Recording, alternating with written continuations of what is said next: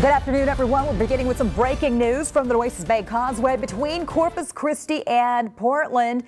An accident involving an 18-wheeler. As you see in this live picture we have here, it is backed up traffic heading into Portland. This is another live video feed we have right here. This accident left the cab of the truck, as you can see, kind of hanging right in that middle median area between oncoming uh, lanes of traffic out there. You can see traffic Again, it is down to a crawl as crews are trying to remove that wrecked big rig.